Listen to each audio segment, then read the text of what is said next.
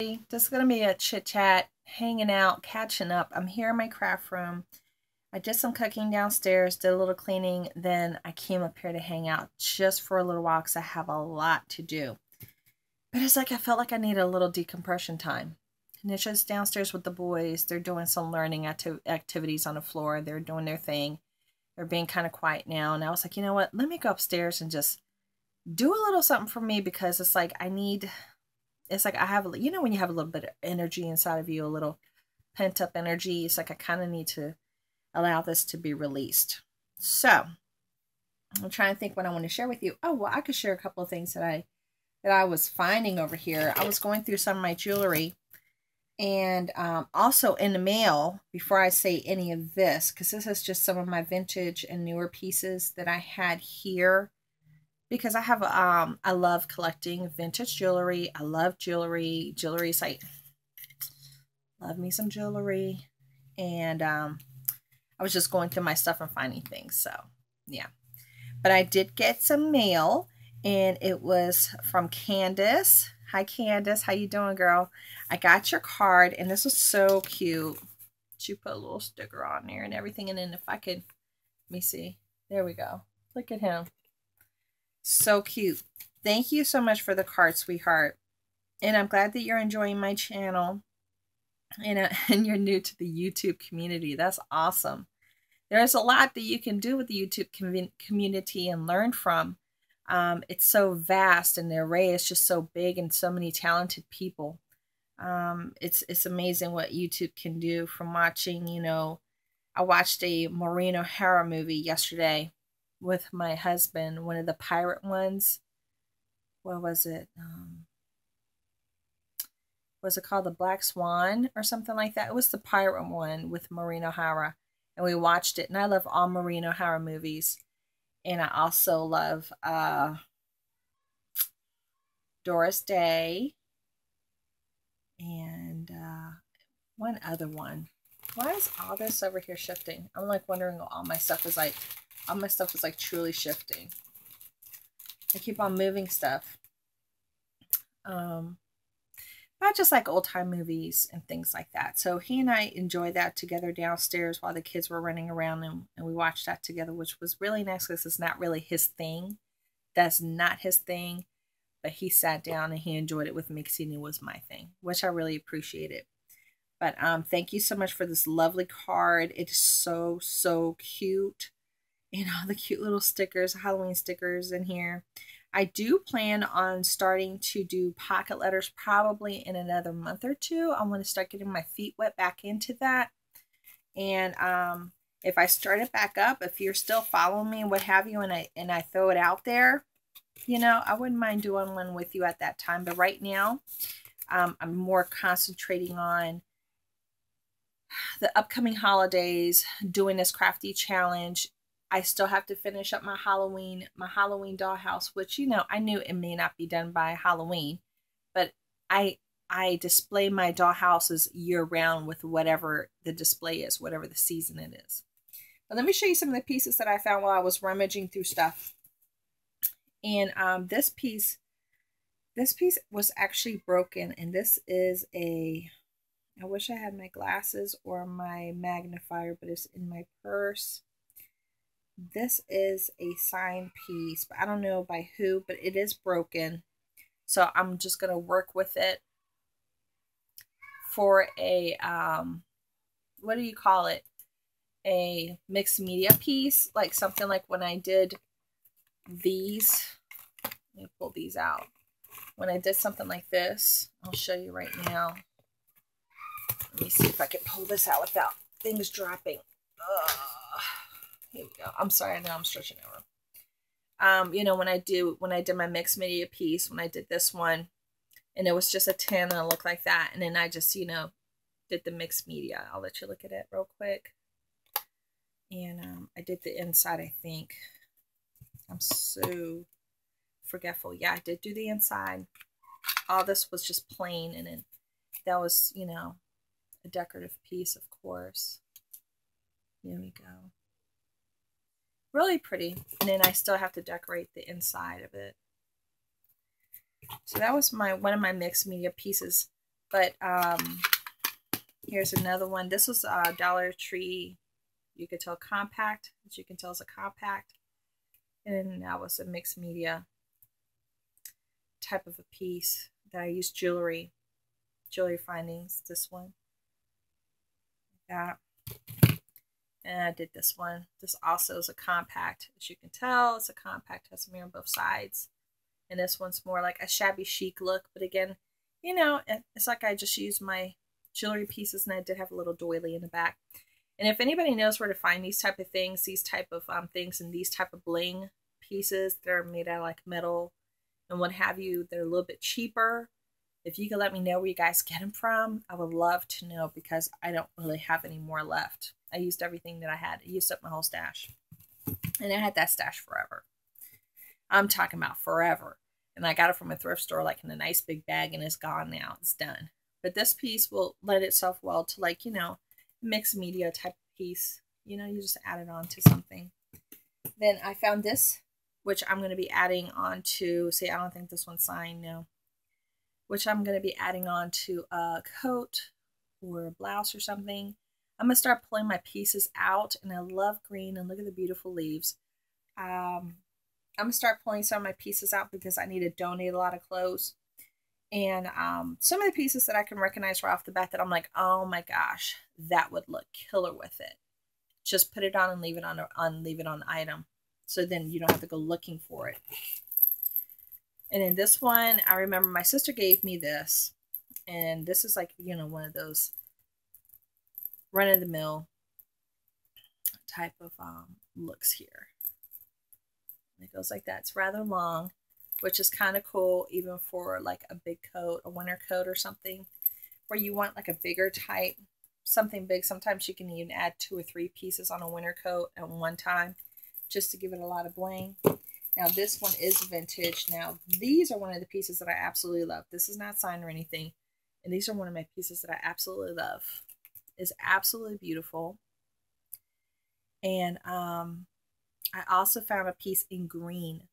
And I think I have the green one. See, it has a little wear to it, but I don't care. It's just absolutely beautiful. It's just such a beautiful big statement piece, as you could tell, it's rather large. It's a nice big statement piece. And I do have one that's in a different format, but is green and I found these all at a thrift store many, many, many, many year ago. And I haven't been able to find anything like that since. And this is more like a little newer type piece, I believe, because this is not signed. And I thought this was just a very whimsical, kind of cool looking, you know. So you could use that in mixed media as well. These pieces I won't be using for mixed media. These are going to go into my bedroom. But this I could see me using in mixed media. This one that's already broken in the back as well. And then this one's just beautiful. And I know this one's signed. This one is, um, I could almost make it out. Sand, Sandor, Sandor Company. Sandor Company. I don't know if you guys can see that. Where's the Sandor Company? And you can see just the finish itself in the back is amazing. And I've had this piece forever as well. Very, very pretty. You see this nice big piece. It's so pretty. So that I'll go into my closet too. And then I ran across, I don't know if you guys are interested in any of this or not, but I'm a jewelry, a jewelry hound. I found a piece in here who remembers Kirk's Follies from QVC? That was a small company that used to be on QVC that was amazing and they were into fairies and what have you. And they had some beautiful, absolutely beautiful pieces. And um, I only had picked up one or two and not even from QVC. I got them from eBay or in this one I found at a thrift store, believe it or not. And they're no longer on QVC and they're no longer in business, which is really sad because they were just such a wonderful, whimsical, you know, company. They would be spreading out their fairy glitter wherever they went, and they had a beautiful following. I'm not too sure what happened, but this is one of their pieces from Kirk's Follies. And it is a charm. This the one with the cat. It is very pretty. Just very pretty. And it's nice and chunky. And I'm not into cats, you guys. If you didn't know, I'm allergic to cats. Certain type of cats, and I guess long hair cats and what have you, I will stop. Literally, my throat will close and I'll stop breathing.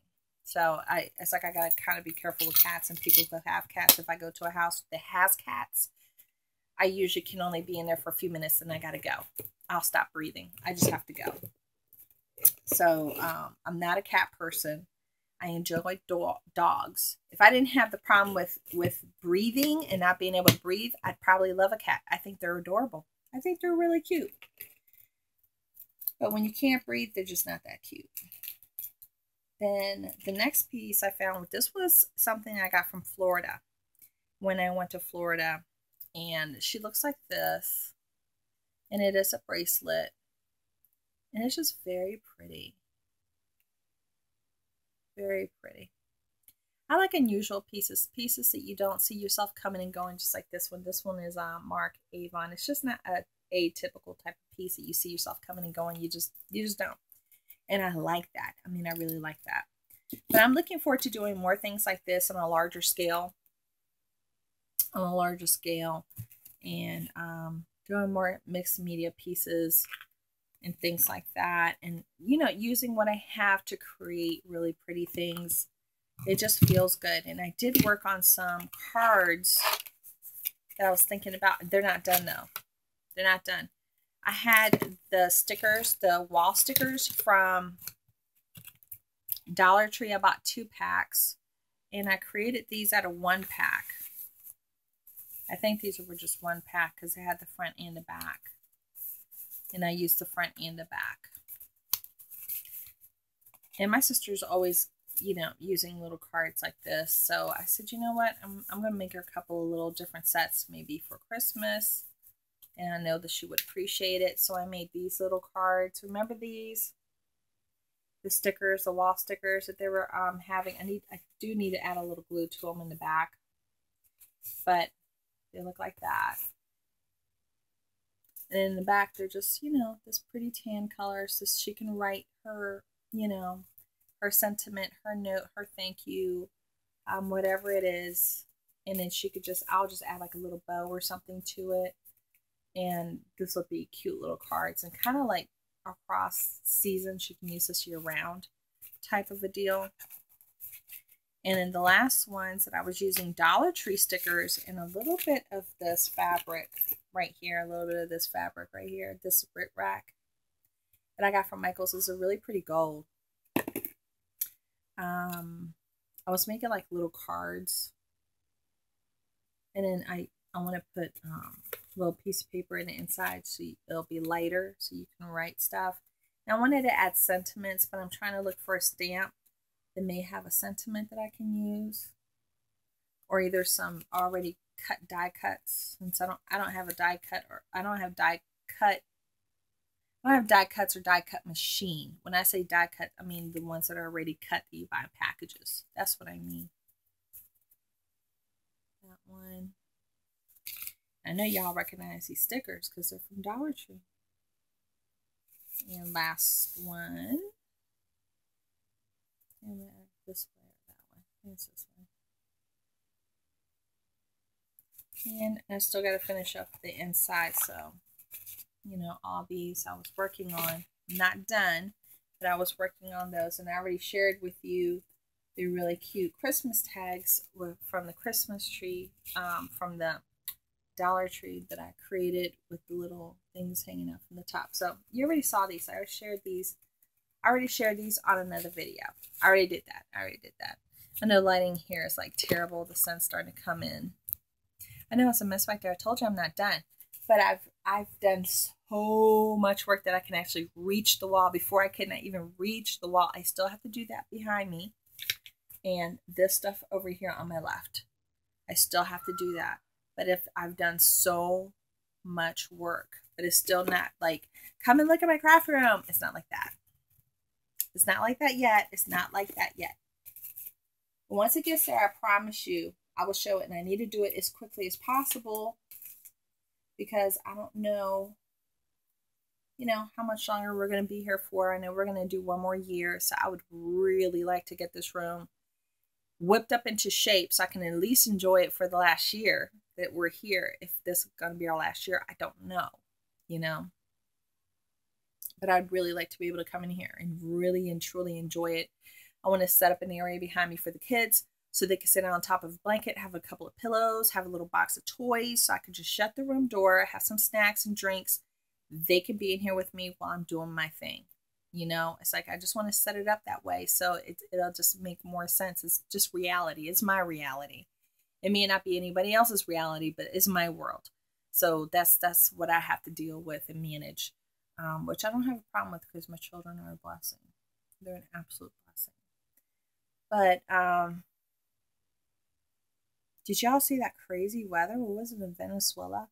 They had some crazy weather out there. Check it out. Go online. They had like four feet of hail within 15 minutes. Something insane. Insane. Um, I don't know. It's like so much stuff is going on. Ooh, so much stuff is going on. Ooh. Like I always say, you guys, I love you. I want all of y'all to think about, you know, stocking up your pantries, your medicines, water, food, shelter, um, making sure you have everything that you need for winter.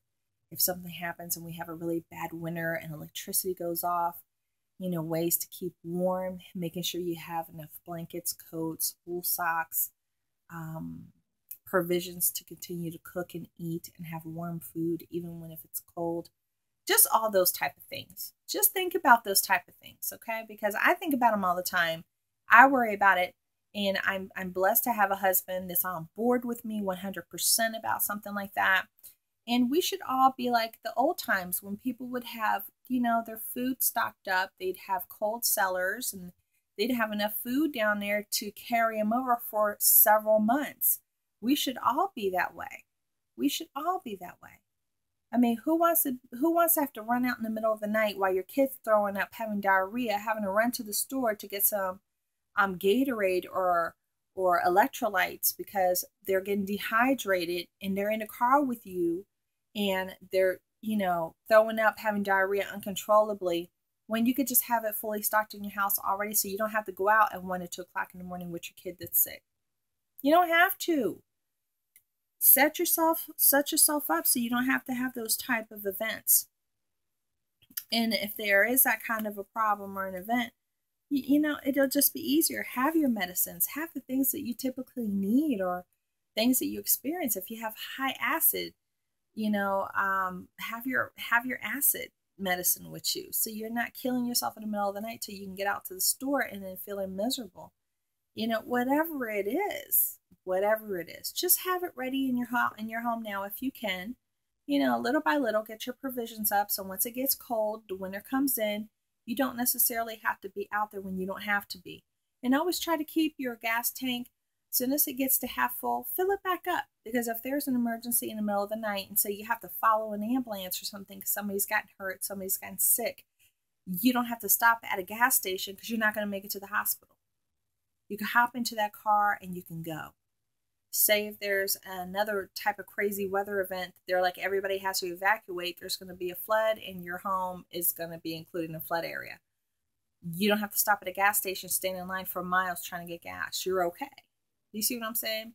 Just simple things and prevention um, can save a lot of time, a lot of aggravation. Um, I'm still, I'm still a work in progress myself, so I, I'm not 100% foolproof on anything at all. I'm just like you. I'm learning my way through all of this and trying to um, see what I need versus what I have. And it's, it's a daily thing for me that I'm learning and I'm, and I'm stumbling through. So just remember that because it's cold outside already, it's windy, and um, if you don't have to be out there, why be out there? You know? So I guess this is where I'm going to end it because I'm sure I'm boring you. but I wanted to come on here and do the little share. And then I wanted to thank Candace for the lovely card. Thank you, Candace. And um, know that that you can join in the crafty challenge that I have. If you want to join in, you're more than welcome to join in. It's open till the end of November. And if anybody else wants to join in, please join in. And I will talk to y'all later. I might do a vlog tomorrow. I'm going to my sister's house. It's Halloween day. Taking the kids over there. And um, we're going to spend the day over there with her. And um, do trick-or-treating in her neighborhood because we know everybody there. Yeah. So that's what we're doing. So maybe I'll do something over there at her house. That might be fun. I will talk to y'all later. Don't forget to subscribe. Bye.